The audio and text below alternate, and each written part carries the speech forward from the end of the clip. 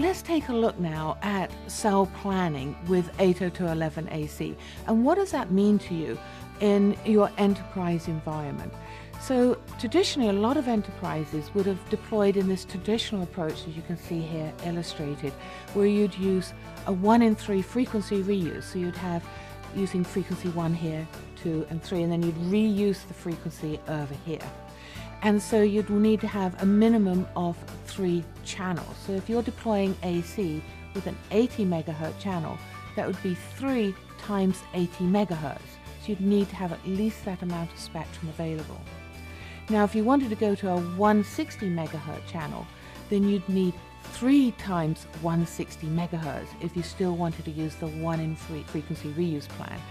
And in most countries around the world, you just don't have that spectrum available including here in North America.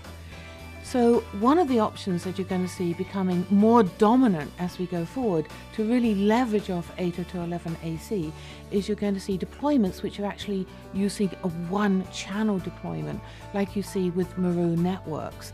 And that way you can deploy in all of your cells the same 160 megahertz channel or the same 80 megahertz channel or potentially going down the road maybe overlaying multiple 80 megahertz channels.